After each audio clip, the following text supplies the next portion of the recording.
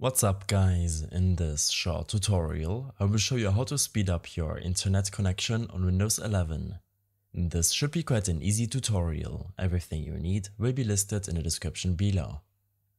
First, search for Delivery Optimization in your Start menu search to open up your Delivery Optimization System Settings window. Here, you will be able to specify the amount of bandwidth that Windows can use for core tasks such as download limits, updates, and overall network usage limits.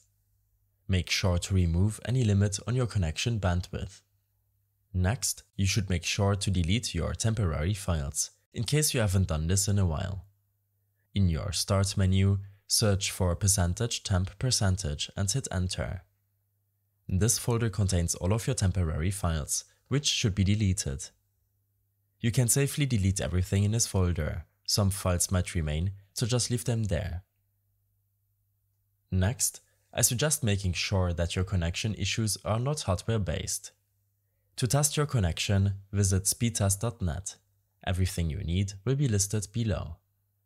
A normal up and download speed, which is usually above 3 MB per second, is crucial for your OS and web browsing to work properly. Make sure to use an Ethernet cable to ensure the best possible connection. If you have to use a Wi-Fi connection, then make sure to restart your router or modem if you haven't done this in a while, and reduce the amount of devices connected to the same network. When this is done, open up your command prompt by searching for cmd and hitting enter. The next two commands are listed in the description below. Ping google.com. This command will check your latency and packet loss to Google servers. If your ping is higher than 100 milliseconds or if you encounter any packet loss, then you should make a few changes to your connection and follow the next tweaks. Use the command ipconfig slash flush DNS. This will flush and reset the content of your DNS resolver cache. Using this command will in any case improve your latency issues. You can now exit out of your command prompt and open up your task manager simply search for it in your Start menu search. Here, navigate to your resource monitor as you can see in the video. In the Network tab, open the processes with network activity, and after a few seconds, you will see every process using your network connection. This might be your browser running in the background, Steam, or a download bottlenecking your connection. I suggest you to only enter the processes which you know won't break your operating system. Below, you can also preview your network utilization in percent. Lastly, we will change your DNS server address in case the issue is still caused by your network connection.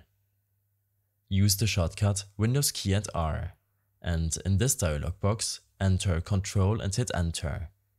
This will open up your control center. From here, navigate to Network and Internet Network and Sharing Center, and here select your connection. This will open up this window, containing some general information about your connection. Navigate to Properties, and lastly, double-click the Internet Protocol version 4. Select to use the following DNS server addresses option, and as your preferred DNS server, use 8888, and as your alternate DNS server, use 8844. These are the official public DNS server addresses from Google, which are safe to use.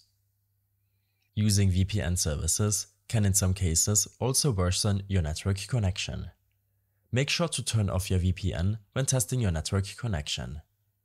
I hope this helped you out, leave a comment if you have any questions and see you in the next one.